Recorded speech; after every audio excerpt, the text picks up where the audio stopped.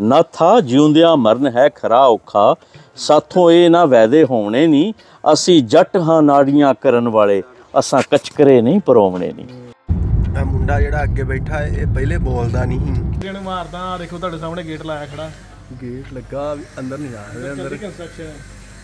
ਮਾਣ ਮਤੀਏ ਰੂਪ ਗੁਮਾਨ ਭਰੀਏ ਅਟਕੇਲੀਏ ਰੰਗ ਰੰਗੀਲੀਏ ਨੀ। ਆਸ਼ਕ ਭੌਰ ਫਕੀਰ ਤੇ ਨਾਗ ਕਾਲੇ ਬਾਜ ਮੰਤਰੋਂ ਮੂਲ ਨਾ ਕੀ ਲੀਏ ਨੀ। ये लड़की को देख के ना बस पिघल ही गया ये तो ਕੌਣ ਸੀ ਕਲਾਸ फिर में पीछे पीछे घर भी चला गया ਅੱਛਾ ਜ਼ਮੀਨ ਦੇ ਕਹਿੰਦੇ ਨਾ ਵੀ ਗੱਲ ਨਹੀਂ ਇਕੱਠੇ ਹੋ ਗਏ ਆ हाँ ਤੇ ਗੱਲ ਗਈ ਵੱਧ गल की रावी क्रॉस करो रावी तो अगे फिर ਮਰਜੀ ਸ਼ਹਿਰ ਦਾ ਪੁਰਾਣਾ ਬਾਜ਼ਾਰ ਲੈ ਲਓ ਹਾਂ ਇਹ ਉਹਦੇ ਵਰਗਾ ਹੀ ਆ ਲੁਧਿਆਣੇ ਦਾ ਮੋਜਪੁਰਾ ਬਾਜ਼ਾਰ ਚੌੜਾ ਬਾਜ਼ਾਰ ਕੰਨ ਲਪੇਟ ਕੇ ਨਸ ਜਾਏ ਮਗਰ ਲੱਗ ਕੇ ਉਸ ਨੂੰ ਤਸੀਏ ਕਿਉਂ ਵਾਰਿਸ ਸ਼ਾਹ ਉਜਾੜ ਕੇ ਵਸਦਿਆਂ ਨੂੰ ਆਪ ਖੈਰ ਦੇ ਨਾਲ ਫਿਰ ਵਸੀਏ ਕਿਉਂ ਇਸ ਟਾਈਮ ਅਸੀਂ ਗੁਜਰਾ ਵਾਲਾ ਦੇ। ਜਿਹੜੀ ਦਿਲ ਦੀ ਖੁਆਇਸ਼ ਪੂਰੀ ਹੈ ਕਿ ਚਲੋ ਅੱਜ ਆਪਣੇ ਬਾਬੇ ਦੀ ਦਰਗਾਹ ਦੀ ਫੋਟੋ ਸਾਨੂੰ ਨਜ਼ਰ ਆ ਗਈ ਹੈ ਵੇਲੇ ਰੂੜੀਆਂ ਵਾਲੀ ਸੀ ਤਾਂ ਕਰਕੇ ਇਹਦਾ ਨਾਮ ਗੁਰਦੁਆਰਾ ਰੂੜੀ ਸਾਹਿਬ ਪਿਆ। ਸਾਨੂੰ ਹਿੰਦੁਸਤਾਨ ਦੇ ਵਿੱਚ ਖੋਜੇ ਆਂਦੇ ਸਨ।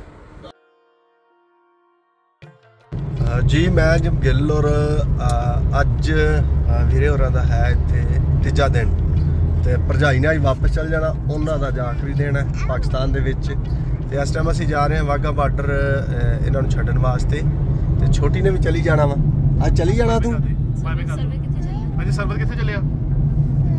ਨਾਨੂ ਕੋਲ? ਨਾਨੂ ਕੋ ਜਾ ਰਹੀ ਹੈ ਤੇ ਵੀਰੇ ਇੱਥੇ ਹੀ ਹੈ 27 ਤਰੀਕ ਤੱਕ ਤੇ ਵੱਖ-ਵੱਖ ਜਿਹੜੇ ਸ਼ਹਿਰ ਨੇ ਜਾਂ ਗੁਰਦੁਆਰਾ ਸਾਹਿਬ ਨੇ ਜਿਹੜੀਆਂ ਜਿਹੜੀਆਂ ਜਗ੍ਹਾ ਤੇ ਜਾਣਾ ਇਹਨਾਂ ਨੂੰ ਪਤਾ ਹੈ। ਲੇਕਿਨ ਭਰਜਾਈ ਨੂੰ ਕਿਉਂ ਅੱਜ ਵਾਪਸ ਭੇਜ ਰਹੇ ਭਰਜਾਈ ਕਹਿੰਦੇ ਵੀ ਮੇਰਾ 2 ਦਿਨ ਦਾ ਹੀ ਪਲਾਨ ਸੀ। ਅੱਛਾ। ਤੇ ਪਿੱਛੇ ਥੋੜਾ ਜਿਹਾ ਇਹਨਾਂ ਦਾ ਇੱਕ ਦੋ ਕੰਮ ਫਸੇ ਆ। ਕਹਿੰਦੇ ਉਹ ਪੂਰੇ ਕਰਨੇ ਆ ਜਾ ਕੇ। ਇਹ ਉਹ ਜਾਣਾ ਚਾਹੁੰਦੇ ਜਾਂ ਤੁਸੀਂ ਨਹੀਂ ਰੱਖਣਾ ਚਾਹੁੰਦੇ? ਮੈਂ ਨਹੀਂ ਕੁਝ ਕਹਿ ਰਿਹਾ ਉਹ ਆਪ ਹੀ ਜਾਣਾ ਚਾਹੁੰਦੇ। ਪੱਕੀ ਗੱਲ? ਹਾਲਾਤਾਂ ਨੇ ਜਾਣ ਨੂੰ ਮਜਬੂਰ ਕੀਤਾ। ਅੱਛਾ। ਮੈਂ ਨਹੀਂ ਮਜਬੂਰ ਕੀਤਾ। ਬਸ ਇਹਨਾਂ ਨੇ ਇਹ ਸੀ ਕਿ ਨਨਕਾਣਾ ਸਾਹਿਬ ਮੱਥਾ ਟੇਕਿਆ ਫਿਰ ਪਹਿਲੇ ਦਿਨ ਲਾਹੌਰ ਵਾਲੇ ਗੁਰਦੁਆਰਾ ਸਾਹਿਬ ਜਿਹੜੇ ਉਹਨਾਂ 'ਚ ਤੇ ਉਸ ਤੋਂ ਬਾਅਦ ਲਾਹੌਰ ਜਿਹੜਾ ਕੱਲ ਸ਼ਾਮੀ ਉਹ ਵੇਖਿਆ। ਕਿਵੇਂ ਦਾ ਲੱਗਿਆ ਲਾਹੌਰ ਜਿਹੜਾ ਸੀ? ਤੁਸੀਂ ਬਾਹਰ ਦਿਖਾ ਵੀ ਦਿਓ ਤੇ ਮੈਂ ਕਹਿੰਦਾ ਬਹੁਤ ਸੋਹਣਾ ਬਹੁਤ ਸੋਹਣਾ ਬਣਿਆ ਹੋਇਆ ਲਾਹੌਰ। ਆ ਨਾਲ ਨਾਲ ਗੱਲ ਅਸੀਂ ਸਾਹਮਣੇ ਦਿਖਾਈ ਜਾਂਦੇ ਆ ਇਸ ਟਾਈਮ ਗੁਲਬਰਗ ਦੇ ਏਰੀਏ ਦੇ ਵਿੱਚ। ਆ ਤੇ ਤੁਸੀਂ ਵੇਖ ਵੀ ਸਕਦੇ ਆ ਇਨਫਰਾਸਟ੍ਰਕਚਰ ਬਹੁਤ ਸੋਹਣਾ ਹੈ। ਜਿਹੜੀਆਂ ਇਹਨਾਂ ਨੇ ਹਿਸਟੋਰੀਕਲ ਬਿਲਡਿੰਗਸ ਹਾਲੇ ਤੱਕ ਸਾਂਭ ਕੇ ਰੱਖੀਆਂ ਉਹ ਬਹੁਤ ਹੀ ਵਧੀਆ ਕੰਮ ਹੈ। ਜੀ। ਆ ਕਾਫੀ ਕੁਝ ਜਿਹੜਾ ਹਾਂਜੀ ਕਾਫੀ ਕੁਝ ਹੈ ਲਾਹੌਰ ਵਿੱਚ ਪੁਰਾਣਾ। ਫਿਰ ਰਾਤ ਅਸੀਂ ਗਏ ਫੂਡ ਸਟਰੀਟ ਕਿਉਂਕਿ ਇਹਨਾਂ ਨੇ ਅੱਜ ਜਾਣਾ ਸੀ ਤੇ ਉਸ ਤੋਂ ਪਹਿਲੇ ਭਾਜੀਆਂ ਨੇ ਵੀ ਇੱਕ ਵਾਰੀ ਲਾਹੌਰ ਦੀ ਜਿਹੜੀ ਰੋਟੀ ਹੈ ਉਹ ਖਵਾ ਦਈਏ। ਖਵਾ ਦੀ ਹਨਾ? ਸਹੀ ਗੱਲ ਹੈ ਤੇ ਮਨ ਦੇ ਵਿੱਚ ਕਿਵੇਂ ਮਨ 'ਚ। ਹੁਣ ਕੀ ਆ? ਜਾਣ ਲੱਗਿਆ ਕਿਵੇਂ ਦਾ ਲੱਗ ਰਿਹਾ? ਜਾਣ ਲੱਗੇ ਦਿਲ ਵੀ ਕਰ ਰਿਹਾ ਰੁਕਣ ਦਾ ਪਰ ਮਜਬੂਰੀਆਂ ਨੇ। ਹਾਂ। ਬਟ ਭਾਜੀ ਮੈਂ ਕਿਦਾਂ ਦੱਸਾਂ ਕੋਈ ਕੋਈ ਫ਼ਰਕ ਨਹੀਂ ਲੱਗ ਰਿਹਾ। ਹੂੰ। ਐਂ ਹੀ ਲੱਗ ਰਿਹਾ ਵੀ ਬਸ ਉੱਥੋਂ ਉੱਠ ਕੇ ਇੱਧਰ ਆ ਗਏ ਆ ਤੇ ਬਸ ਜਿਵੇਂ ਆਪਣਾ ਹੀ ਆ ਸਾਰਾ ਕੁਝ ਇੱਕੋ ਹੀ ਗੱਲ ਆ। ਇਹ ਚੀਜ਼। ਠੀਕ ਹੈ ਤੁਹਾਡੇ ਕੋਲ ਮਲਟੀਪਲ ਵੀਜ਼ਾ ਵਾ ਤੇ ਤੁਸੀਂ ਵੇਲੇ ਵੇਲੇ ਇਹਨਾਂ ਦਾ ਛਾਪਾ ਮਾਰਦੇ ਰਹੇ ਹੋ ਜਦੋਂ ਤੇ ਦੁਬਾਰਾ ਹੁਣ ਕਦੋਂ ਆਉਣਾ? ਕਦੋਂ ਆਉਣਾ ਦੁਬਾਰਾ? ਅੱਛਾ ਕਦੋਂ ਆਣਾ ਦੁਬਾਰਾ? ਚੱਲ ਦੱਸ ਕਦੋਂ ਆਉਣਾ ਦੁਬਾਰਾ? ਕਦੋਂ ਆਣਾ ਚਲੋ ਕੋਈ ਨਹੀਂ ਦੱਸਣਾ? ਨਹੀਂ ਦੱਸਣਾ। ਅੱਜ ਸਰਵਤ ਕਿੱਥੇ ਚੱਲਾ ਅੱਛਾ ਸਰਵ ਚੱਲਿਆ ਕਿੱਥੇ ਆ? ਚੱਲ ਦੱਸ ਕਿੱਥੇ ਚੱਲਾਂ? ਹਾਂ ਕੋਈ ਨਾ। ਟਿਸ਼ੂ ਮੰਗਦੀ ਤੇ। ਅਸੀਂ ਨਾਲ ਨਾਲ ਹੁਣ ਵਾਗਾ ਬਾਰਡਰ ਜਾਵਾਂਗੇ ਇਹਨਾਂ ਨੂੰ ਛੱਡ ਕੇ ਤੇ ਅਸੀਂ ਉੱਥੋਂ ਨਿਕਲਾਂਗੇ ਗੁਜਰਾਂ ਵਾਲੇ ਵਾਸਤੇ। ਤੇ ਸਾਰੀ ਵੀਡੀਓ ਜਿਹੜੀ ਹੈ ਉਹ ਤੁਹਾਡੇ ਨਾਲ ਸਾਂਝੀ ਕਰਦੇ ਰਵਾਂਗੇ। ਇਹ ਮੁੰਡਾ ਜਿਹੜਾ ਅੱਗੇ ਬੈਠਾ ਹੈ ਇਹ ਪਹਿਲੇ ਬੋਲਦਾ ਨਹੀਂ ਹੁਣ ਭਰਜਾਈ ਚਲੇਗੀ ਅੱਜ ਵਾਪਸ। ਤੇ ਹੁਣ ਵੇਖੋ ਐਨਕਾ ਸ਼ੈਨਕਾ ਲਾ ਲੀਆਂ ਨੇ ਹੁਣ। ਸਾਹ ਵੀ ਸੌਖਾ ਹੋ ਗਿਆ ਜਿਵੇਂ। ਕਿਉਂ ਬਈ? ਬਿਲਕੁਲ ਬਿਲਕੁਲ। ਕੀ ਗੱਲ ਹੈ? ਤਾਂ ਹੀ ਤਾਂ ਅੱਗੇ ਬਹਿ ਗਿਆ ਲਾਣੇ ਬਣ ਕੇ। ਤੁਹਾਨੂੰ ਰਾਹ ਹੁਣ ਮੈਂ ਦਿਖਾਊ ਪਾਕਿਸਤਾਨ ਹਾਂ ਹੁਣ ਦੱਸੇਗਾ ਸਾਰਾ ਕੁਝ ਅੱਗੇ ਨਹੀਂ ਇਹਨੂੰ ਇਹਨੂੰ ਪਤਾ ਨਹੀਂ ਲੱਗਣ ਕਰਨਾ ਕੀ। ਲੋ ਜੀ ਅਸੀਂ ਪਹੁੰਚ ਆਏ ਇਸ ਟਾਈਮ ਗੁਰਦੁਆਰਾ ਰੋੜੀ ਸਾਹਿਬ ਤੇ ਗੁਰਪੁਰਬ ਦੀਆਂ ਇੱਥੇ ਵੀ ਤਿਆਰੀਆਂ ਜਿਹੜੀਆਂ ਨੇ ਉਹ ਵੀ ਹੋ ਰਹੀਆਂ। ਸਾਫ਼ ਸਫ਼ਾਈ ਦਾ ਕੰਮ ਚੱਲ ਰਿਹਾ। ਵਧੀਆ ਗੁਰਦੁਆਰਾ ਸਾਹਿਬ ਇਹ ਵੀ ਬਿਲਡਿੰਗ ਜਿਹੜੀ ਹੈ ਪੁਰਾਣੀ ਹੈ। ਹਾਂਜੀ। ਬਹੁਤ ਵਧੀਆ ਆਰਟ ਵਰਕ ਕੀਤਾ ਹੈ ਹਾਂਜੀ। ਸੰਗਤ ਜੀ ਇਹ ਹੈ ਜੀ ਗੁਰਦੁਆਰਾ ਰੋੜੀ ਸਾਹਿਬ ਜਿੱਥੇ ਗੁਰੂ ਸਾਹਿਬ ਗੁਰੂ ਨਾਨਕ ਦੇਵ ਜੀ ਆਪਣੀ ਪਹਿਲੀ ਦਾਸੀ ਸਮੇਂ ਇੱਥੇ ਆ ਕੇ ਰੁਕੇ ਸੀ। ਇਹ ਜਿਹੜੀ ਧਰਤੀ ਸੀ ਉਸ ਵੇਲੇ ਰੂੜੀਆਂ ਵਾਲੀ ਸੀ ਤਾਂ ਕਰਕੇ ਇਹਦਾ ਨਾਮ ਗੁਰਦੁਆਰਾ ਰੂੜੀ ਸਾਹਿਬ ਪਿਆ। ਇੱਥੇ ਆ ਕੇ ਉਹਨਾਂ ਨੇ ਤਪ ਸਥਾਨ ਕੀਤਾ। ਨਹੀਂ ਬਾਅਦ ਫਿਰ ਪਾਕਿਸਤਾਨੀ ਗਵਰਨਮੈਂਟ ਦੇ ਕਿਹੜੇ ਅੱਛਾ ਅੱਛਾ। ਇਹ 2020 ਚ ਨਹੀਂ ਜਿਹੜਾ ਉਹ ਬਾਹਰ ਜਿਹੜੀ ਆ ਹਾਂ ਇਹ ਸਰ ਉਹ ਤਾਂ ਪਹਿਲੇ ਹੀ ਜਿਹੜੀ ਮੇਨ ਬਿਲਡਿੰਗ ਆ ਇਹ ਵਾਲੀ ਇਹ ਤਾਂ ਉਦੋਂ ਦੀ ਬਣੀ ਮਹਾਰਾਜਾ ਰਣਜੀਤ ਸਿੰਘ ਦੇ ਟਾਈਮ ਦੀ। ਦੱਸ ਰਿਹਾ 1870 ਤੋਂ ਬਾਅਦ ਦੁਬਾਰਾ ਦੁਬਾਰਾ ਕਾਰ ਸੇਵਾ। 1 ਜੁਲਾਈ 2020 ਤੋਂ 2 ਸਤੰਬਰ 2020 ਪਾਕਿਸਤਾਨੀ ਕਾਰ ਸੇਵਾ ਗਿਆਨੀ ਮਾਸਟਰ ਬਲਵੰਤ ਜੀ ਅਸੀਂ ਸਵੇਰ ਲਾਹੌਰ ਤੋਂ ਨਿਕਲੇ ਸੀ ਰੋੜੀ ਸਾਹਿਬ ਮੱਥਾ ਟੇਕਣਾ ਸੀ ਤੇ ਨਾਲ ਗੁਜਰਾਂਵਾਲਾ ਦੇ ਵਿੱਚ ਮਹਾਰਾਜਾ ਰਣਜੀਤ ਸਿੰਘ ਦੇ ਹਵੇਲੀ ਜਿਹੜੀ ਉਹ ਤੇ ਕੁਝ ਬਰਤਨ ਵੀ ਇੱਥੋਂ ਮੇਰਾ ਖਿਆਲ ਲੈਣੇ ਨੇ। ਤੇ ਰਸਤੇ ਵਿੱਚ ਆਉਂਦਿਆਂ ਮੇਰੇ ਜ਼ਿਹਨ 'ਚ ਸੀ ਕੋਈ 7-8 ਸਾਲ ਪਹਿਲੇ ਮਲਕ ਰਿਆਜ਼ ਸਾਹਿਬ। ਆ ਅਹ, ਮਲਕ? ਸ਼ੇਰ ਆ ਸ਼ੇਖ ਰਿਆਜ਼ ਸਾਹਿਬ ਇੱਥੇ ਗੁਜਰਾਂਵਾਲਾ ਦੇ ਵਿੱਚ ਹੁੰਦੇ ਨੇ। 7-8 ਸਾਲ ਪਹਿਲੇ ਇਹਨਾਂ ਨਾਲ ਮੇਰਾ ਰਾਬਤਾ ਹੋਇਆ ਤੇ ਮੇਰੇ ਵਾਸਤੇ ਖੁਸ਼ੀ ਦੀ ਇਹ ਗੱਲ ਹੈ ਕਿ ਇਹ ਸਾਡੇ ਪਿਛਲਾ ਜਿਹੜਾ ਪਿੰਡ ਸੀ ਪੁੱਚਰ ਅੰਮ੍ਰਿਤਸਰ ਦੇ ਨਾਲ ਇਹ ਉਸ ਪਿੰਡ ਤੋਂ ਉੱਠ ਕੇ ਆਏ। ਬਲਕਿ ਅਸੀਂ ਇੱਕ ਪਿੰਡ ਦੇ। ਆਪਣਾ ਮਲਕ ਸਾਹਿਬ ਨਾਲ ਗੱਲਬਾਤ ਵੀ ਕਰੋ ਮਲਕ ਸਾਹਿਬ ਅਹ, ਅਜੀ ਸ਼ੇਖ ਸਾਡੀ ਬਰਾਦਰੀ ਹੈ ਤੇ ਸਾਨੂੰ ਹਿੰਦੁਸਤਾਨ ਦੇ ਜੀ ਖੋਜੇ ਆਂਦੇ ਸਨ। ਤੇ ਖੋਜੇ ਆਂਦੇ ਸਨ ਤੇ ਅਸੀਂ ਖੋਜਾ ਬਰਾਦਰੀ ਦੇ ਨਾਲ ਤਲਕ ਸਾਡਾ।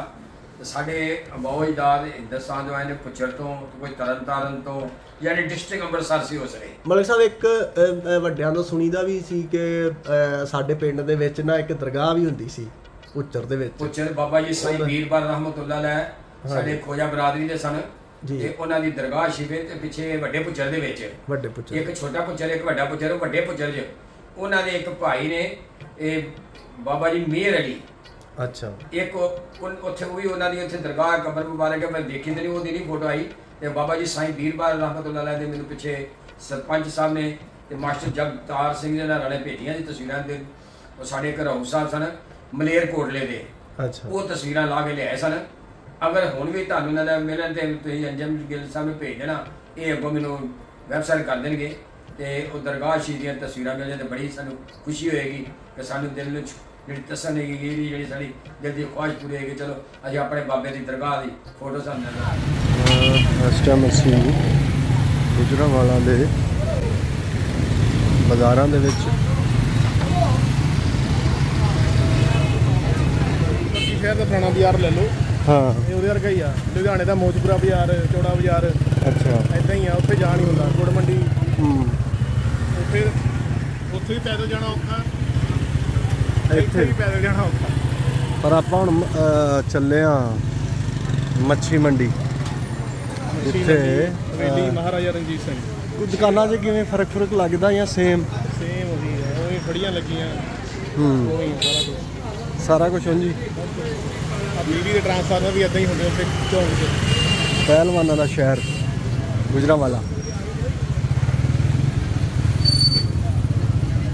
ਇਹਨੂੰ ਆਦੇ ਦਹੀਂ ਭੱਲੇ। ਆ ਜਿਹੜੇ। ਭਾਈ ਕਿੰਨੂੰ ਆਵਾਜ਼ਾਂ ਮਾਰੀ ਜਾਂਦੇ ਹੋ? ਬਾਈ ਮਿਸਤਰੀਆਂ ਨੂੰ ਮਾਰਦਾ। ਦੇਖੋ ਤੁਹਾਡੇ ਸਾਹਮਣੇ ਗੇਟ ਲਾਇਆ ਖੜਾ। ਗੇਟ ਲੱਗਾ ਵੀ ਅੰਦਰ ਨਹੀਂ ਜਾ ਰਹੇ ਅੰਦਰ। ਕੰਸਟਰਕਸ਼ਨ ਸੈਕਸ਼ਨ ਦਾ ਅੰਦਰ ਸਾਨੂੰ ਆ ਵੀ ਅਸੀਂ ਦਰਸ਼ਨ ਕਰ ਚਲੀਏ। ਰੈਨੋਵੇਟ ਕਰ ਰਹੇ ਸ਼ੇਰੇ ਨੇ। ਪੰਜਾਬ ਦੇ ਉਹ ਆ ਗਿਆ ਮੁੰਡਾ। ਖਾਨ ਦੇ। ਨਾਜ਼ਰੀਨ ਇਸ ਵੇਲੇ ਘੁੰਮ ਰਹੇ ਆ ਗੁਜਰਾਂ ਦੇ ਬਾਜ਼ਾਰ 'ਚ। ਨਾਜ਼ਰੀਨ ਕੌਣ ਨੇ? ਤੁਸੀਂ? ਅੱਛਾ। ਆਪਣੇ ਦੇਖਣ ਵਾਲੇ। ਅੱਛਾ। ਤੇ ਹਵੇਲੀ ਦੇਖ ਆਏ ਆ ਜੀ ਮਹਾਰਾਜਾ ਰਣਜੀਤ ਸਿੰਘ ਦੀ। ਉੱਥੇ ਸਾਂਭ ਸੰਭਾਲ ਦਾ ਕੰਮ ਚੱਲ ਰਿਹਾ ਤੇ ਉਮੀਦ ਹੈ ਵੀ ਅਗਲੇ ਸਾਲ ਤੱਕ ਕੰਮ ਮੁਕੰਮਲ ਹੋ ਜਾਊਗਾ। ਤੇ ਛੇਤੀ ਹੀ ਆਪਣੀਆਂ ਸੰਗਤਾਂ ਆ ਕੇ ਹਵੇਲੀ ਦਾ ਕੰਮ ਬਹੁਤ ਸੋਹਣਾ ਚੱਲ ਰਿਹਾ। ਉਹ ਵੀ ਬਿਲਕੁਲ ਨਾਨਕਸ਼ਾਹੀ ਇੱਕ ਲਿਆ ਕੇ ਉੱਦਾਂ ਹੀ ਰਿਸਟੋਰੇਸ਼ਨ ਹੋ ਰਹੀ ਹੈ ਉਹਦੀ। ਤੇ ਇਸ ਟਾਈਮ ਗੁਜਰਾਂਵਾਲਾ ਬਾਜ਼ਾਰ 'ਚ ਲੰਘ ਰਹੇ ਆ ਤੁਸੀਂ ਦੇਖ ਰਹੇ ਹੋ।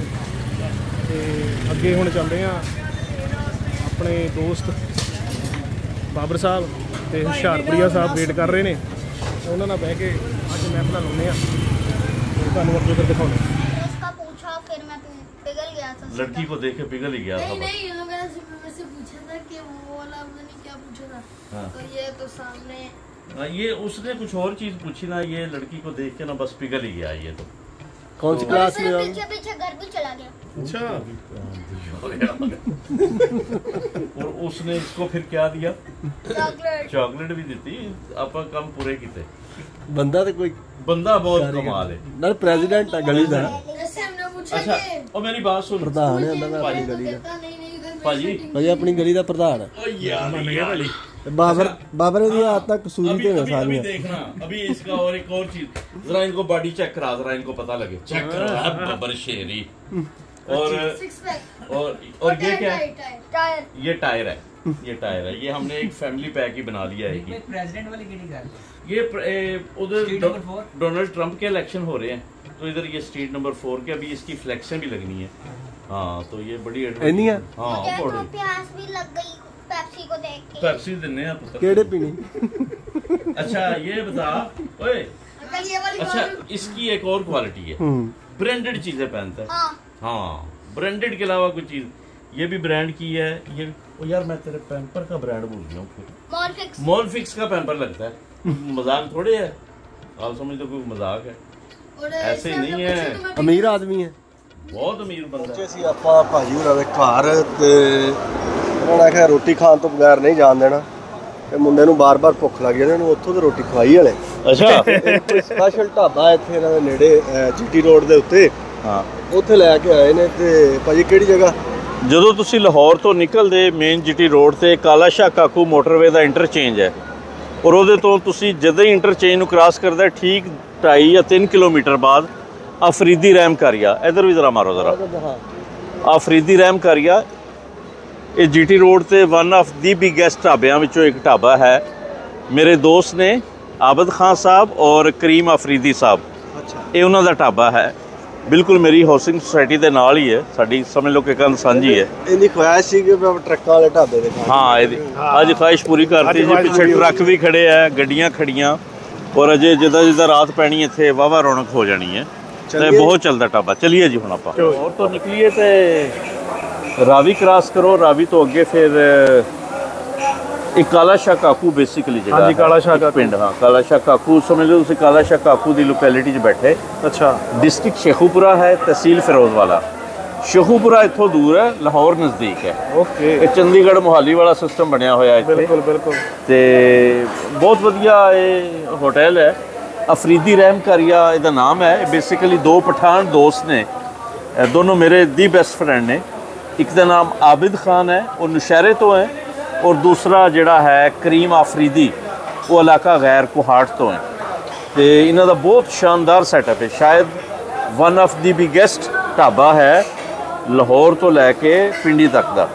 ਔਰ ਇਹਨਾਂ ਦਾ ਇੱਕ ਹੋਰ ਹੋਟਲ ਜਿਹੜਾ ਉਹ ਵੀ ਬਣ ਰਿਹਾ ਅ, ਮੁਰੀਦਕੇ ਤੋਂ ਅੱਗੇ। ਬਹੁਤ ਰਸ਼ ਹੋ ਜਾਂਦਾ। ਦੇਖੋ ਨਾ ਤੁਸੀਂ ਬਾਹਰ ਕਿੰਨਾ ਟਰੱਕ ਖੜੇ ਅ, ਹੋਰ ਵੀ ਹੈ ਫੂਡ ਦਾ ਬਹੁਤ دیਵਾਨਾ ਪਾਕਿਸਤਾਨ ਦਾ। ਅੱਛਾ। ਵੀਡੀਓ ਵੇਖ ਨਾਲੇ ਹੈ ਲੋਕੇਸ਼ਨ ਬਹੁਤ ਸੋਹਣੀ ਜੀਟੀ ਰੋਡ ਤੇ GT road main GT road ਦੇ ਉੱਪਰ ਹੈ। ਟਰੱਕ ਖੜਦੇ ਆ ਔਰ ਗਏ ਨੇ। ਮੇਰੀ ਹਾਊਸਿੰਗ ਸੁਸਾਇਟੀ ਐਸਏ ਗਾਰਡਨ ਯਾਨੀ ਮੇਰੇ ਘਰ ਤੋਂ ਵਾਕਿੰਗ ਡਿਸਟੈਂਸ ਹੈ। ਬਿਲਕੁਲ। ਮੈਂ ਔਰ ਜਿਹੜੇ ਇਹਦੇ ਓਨਰ ਆ ਅਸੀਂ ਰੋਜ਼ ਰਾਤ ਨੂੰ ਡੇਲੀ ਵਾਕ ਕਰਦੇ ਆਣਾ ਇੱਥੋਂ ਵਾਕ ਕਰਦੇ ਫਿਰ ਅਸੀਂ ਜਾਂਦੇ ਆ ਸਾਡੀ ਡੇਲੀ ਦੀ ਵਾਕ ਦੇਖੋ ਇਹ ਇਹ ਢਾਬਾ ਇੰਨਾ ਚੱਲਦਾ ਕਿ ਇਸ ਢਾਬੇ ਦੀ ਵਜ੍ਹਾ ਤੋਂ ਅੰਦਰ ਇੱਕ ਸੈਲੂਨ ਬਣਿਆ ਹੋਇਆ। ਅੱਛਾ ਜੀ। ਹਾਂ। ਇੱਕ ਜਨਰਲ ਸਟੋਰ ਬਣਿਆ ਹੋਇਆ। ਪਸ਼ੌਰੀ ਚੱਪਲਾਂ ਦੀ ਦੁਕਾਨ ਬਣੀ ਹੋਈ। ਦੋ ਮੋਬਾਈਲ ਐਕਸੈਸਰੀ ਦੇ ਖੋਖੇ ਬਣੇ ਹੋਏ। ਦੋ ਮੋਚੀ ਬੈਠਦੇ ਇੱਥੇ ਹਰ ਵਕਤ ਔਰ ਲੰਡੇ ਲੰਡਾ ਵੀ ਲੱਗਦਾ ਸਰਦੀਆਂ ਦੇ ਵਿੱਚ। ਇੰਨਾ ਚੱਲਦਾ। ਲੰਡੇ ਦਾ ਮਤਲਬ? ਮੈਂ ਜਿਹੜੇ ਬਾਹਰੋਂ ਕੱਪੜੇ ਆਉਂਦੇ ਨੇ ਆ ਜਿਹੜਾ ਆਪਣਾ ਲੰਡਾ ਬਾਜ਼ਾਰ ਕਹਿੰਦੇ ਲੰਡਾ ਬਾਜ਼ਾਰ। ਠੀਕ ਹੈ। ਇੱਥੇ ਆ ਕੇ ਤਾਂ ਉਹ ਹਿਸਾਬ ਹੋਇਆ ਵੀ ਮੈਂ ਕੱਲੀ ਤੇ ਮਲਾਜੇਦਾਰ ਵਾਲੇ ਹਾਂ। ਕੀਦਾ ਕੀਦਾ ਮਾਨ ਰੱਖ ਲਾ ਉਹੀ ਦੱਸਿਆ ਨਾ ਕਿ ਚਲੋ ਤੁਸੀਂ ਬਹੁਤ ਤੁਹਾਨੂੰ ਲਾਹੌਰ ਦੇ ਵਿੱਚ ਜਿਹੜੀ ਫੂਡ ਖਾਣ ਨੂੰ ਮਿਲੇਗੀ ਲੇਕਿਨ ਜਿਹੜੀ ਪਿਓਰ ਜਿਹੜੀ ਇਹਨਾਂ ਢਾਬਿਆਂ ਦੇ ਉੱਤੇ ਮਿਲਦੀ ਹੈ। ਆਪਾਂ ਉਹ ਆਰਡਰ ਕੀਤਾ ਠੀਕ ਹੈ। ਤਾਂ ਕਿ ਤੁਹਾਨੂੰ ਉਹ ਵੀ ਪਤਾ ਲੱਗੇ Authentic taste। ਜੀਟੀ ਰੋਡ ਤੇ ਪੈਂਦਾ ਇਹਨਾਂ ਕਰਕੇ ਟਰੱਕਾਂ ਦਾ ਜ਼ਿਆਦਾ ਜਿਹੜਾ ਇੱਥੇ ਟਰੱਕ ਬਹੁਤ ਜ਼ਿਆਦਾ ਬੁੱਧ ਵਾਲੇ ਦਿਨ ਚੁੱਕੇ ਪਸ਼ੂਆਂ ਦੀ ਮੰਡੀ ਲੱਗਦੀ ਲਾਹੌਰ 'ਚ। ਹਾਂਜੀ। ਇੰਨਾ ਰਸ਼ ਹੁੰਦਾ ਕਿ ਟਰੱਕਾਂ ਦੇ ਖੜੇ ਹੋਣ ਦੀ ਜਗ੍ਹਾ ਨਹੀਂ ਹੁੰਦੀ। ਅੱਛਾ। ਹੁਣ ਚੁੱਕੇ ਗੱਡੀਆਂ ਵਾਲੇ ਵੀ ਬਹੁਤ ਆ ਜਾਂਦੇ। ਇਸ ਲਈ ਇਹਨਾਂ ਨੇ ਟਰੱਕਾਂ ਵਾਲਿਆਂ ਲਈ ਸਪੈਸ਼ਲ ਹੋਟਲ ਅੱਗੇ ਬਣਾਤਾ ਮੁਰੀਦ ਕੇ ਕ੍ਰਾਸ ਕਰੋ ਨਾ ਬਿਲਕੁਲ ਉਹ ਮੁਕੰਮਲ ਹੋਣ ਵਾਲਾ। ਉੱਥੇ ਸਿਰਫ ਟਰੱਕ ਹੀ ਜਾਣਗੇ ਸਭ ਟਰੱਕ ਉੱਥੇ ਖਾਣਾ ਜਾਣਗੇ। ਛਾਣਾ ਖਾ ਕੇ ਤੋਂ ਨਿਕਲਣ ਲੱਗੇ ਤੇ ਇੱਕ ਦੋਸਤ ਦੀ ਆ ਗਈ ਕਾਲ। ਭਾਜੀ ਹੋਰਾਂ ਦੇ ਕੋਈ ਦੋਸਤ ਸਨ ਘਰ ਸ਼ਰ ਬਣਾਉਂਦੇ ਨੇ। ਜੀ ਮੇਰੇ ਦੋਸਤ ਨੇ ਫੈਜ਼ ਉਹਨਾਂ ਦਾ ਨਾਮ ਹੈ। ਚਾਹ ਉਹਨਾਂ ਤੋਂ ਪੀਣੀ ਹੈ ਤੇ ਫਿਰ ਉਹ ਗਏ ਚਲੇ ਚਾਹ ਲੈਣ। ਜੀ ਜੀ ਜੀ। ਅਸੀਂ ਉਹਨਾਂ ਜਰ ਮਗਰੋਂ ਘਰ ਵੇਖਣਾ ਤੇ ਨਾਲੇ ਉਹਨਾਂ ਬਾਰੇ ਭਾਜੀ ਦੱਸਣਗੇ। ਹਾਂ ਉਹ ਫੈਜ਼ ਸਾਹਿਬ ਨੇ ਉਹ ਪਹਿਲੇ ਇੱਕ ਕੰਪਨੀ ਦੇ ਵਿੱਚ ਜੀਐਮ ਦੀ ਜੌਬ ਕਰਦੇ ਸਨ ਅੱਛੀ ਪੋਸਟ ਉਤੇ। ਫਿਰ ਉਹਨਾਂ ਦਾ ਸ਼ੌਕ ਸੀ ਘਰ ਬਣਾਉਣਾ। ਔਰ ਇਸ ਸੁਸਾਇਟੀ ਦੇ ਵਿੱਚ ਸ਼ਾਇਦ ਉਹਨਾਂ ਦਾ 7ਵਾਂ ਜਾਂ 8ਵਾਂ ਘਰ ਇਹ ਬਣਾ ਕੇ ਉਹਨਾਂ ਨੇ ਇਹ ਰੀਸੈਂਟਲੀ ਸੇਲ ਕੀਤਾ। ਆਓ ਤੁਹਾਨੂੰ ਦਿਖਾਉਂਦੇ ਆ ਕਿ ਹੁਣ ਐਜ਼ ਅ ਬਿਲਡਰ ਆਪਣਾ ਬਿਜ਼ਨਸ ਹਾਂ ਐਜ਼ ਅ ਬਿਲਡਰ ਆਪਣਾ ਬਿਜ਼ਨਸ। ਬਹੁਤ ਆਪਣਾ ਕਰ ਰਹੇ। ਭਾਜੀ ਇੱਥੇ ਵੀ ਕੋਈ ਲਾਇਸੈਂਸਿੰਗ ਆਪਾਂ ਨੂੰ ਕਰਨੀ ਪੈਂਦੀ ਆ ਕੋਈ ਬਿਲਡਰ ਲਾਇਸੈਂਸ ਵਗੈਰਾ ਕੁਝ ਨਹੀਂ ਐਸ ਸੱਚ ਲਾਇਸੈਂਸ ਦੀ ਜ਼ਰੂਰਤ ਨਹੀਂ ਹੁੰਦੀ। ਲੇਕਿਨ ਜਿਸ ਸੁਸਾਇਟੀ ਦੇ ਵਿੱਚ ਹਾਊਸਿੰਗ ਸੁਸਾਇਟੀ ਤੁਸੀਂ ਕੰਮ ਕਰਦੇ। ਉਹਨਾਂ ਦੀ ਕਿਸੇ ਨਾ ਕਿਸੇ ਹੱਦ ਤੱਕ ਅਪਰੂਵਲ ਦੀ ਲੋੜ ਹੁੰਦੀ ਅਦਰਵਾਈਜ਼ ਕੋਈ ਪ੍ਰੋਪਰ ਕਿਸੇ ਲਾਇਸੈਂਸਿੰਗ ਦੀ ਨਹੀਂ ਹੈ ਤੇ ਜਦੋਂ ਆਪਾਂ ਅਪਰੂਵਲ ਲੈਣੀ ਉਹਨਾਂ ਤੋਂ ਉਹ ਪਹਿਲਾਂ ਕੁਝ ਆਪਣਾ ਕੁਝ ਚੈੱਕ ਕਰਦੇ ਕੋਈ ਆਪਣਾ ਪੁਰਾਣੇ ਪ੍ਰੋਜੈਕਟਸ ਕੀਤੇ ਹੋਣ ਦੇਖੋ ਛੋਟੇ ਪ੍ਰੋਜੈਕਟਸ ਲਈ ਤਾਂ ਨਹੀਂ ਸ਼ਾਇਦ ਇੰਨੀ ਹੁੰਦੀ ਉਹਨੂੰ ਪ੍ਰੀ ਕੁਆਲੀਫਿਕੇਸ਼ਨ ਕਹਿੰਦੇ ਕਿਉਂਕਿ ਮੈਂ। ਕੰਸਟਰਕਸ਼ਨ ਕੰਪਨੀ ਨੂੰ ਵੀ ਡੀਲ ਕਰ ਚੁੱਕਿਆ ਪ੍ਰੀ ਕੁਆਲੀਫਿਕੇਸ਼ਨ ਕਹਿੰਦੇ ਉਹਦੀ ਲੋੜ ਨਹੀਂ ਹੁੰਦੀ ਘਰਾਂ ਵਿੱਚ ਹਾਂ ਵੱਡੇ ਪ੍ਰੋਜੈਕਟ ਹੋਣ। ਉੱਥੇ ਕੋਈ ਕਮਰਸ਼ੀਅਲ ਪਲਾਜ਼ਾ ਹੋਣ ਕੋਈ ਮਾਲ ਹੋਣ। ਬਿਲਕੁਲ। ਹੁਣ ਦੇਖੋ ਨਾ ਬਹੁਤ ਸੋਹਣੇ ਘਰ ਬਣਾਉਂਦਾ ਬੜਾ ਕੰਬੀਨੇਸ਼ਨ ਹੈ ਤੁਸੀਂ ਉੱਤੇ ਦੇਖੋ।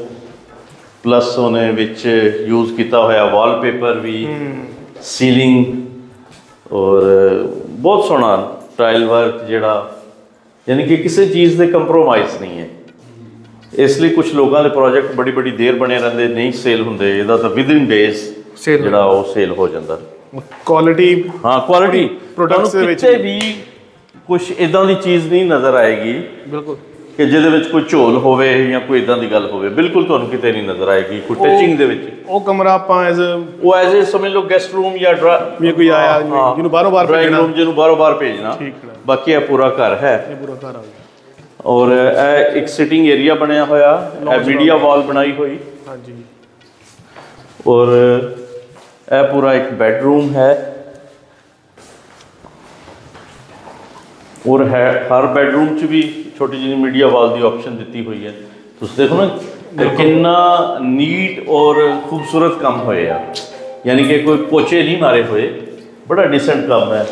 ਦੇਖੋ ਤੁਸੀਂ ਇਸ ਲੈਵਲ ਦਾ ਉਹਨਾਂ ਨੇ ਹਰ ਚੀਜ਼ ਕਬਰਡ ਜਿਹੜੀਆਂ ਬਹੁਤ ਅੱਛਾ ਯਾਨੀ ਕਿ ਤੁਹਾਡੇ ਇੱਥੇ ਸਿਉਂਕ ਦੀ ਪ੍ਰੋਬਲਮ ਹੈ? ਹਾਂ ਹੈ।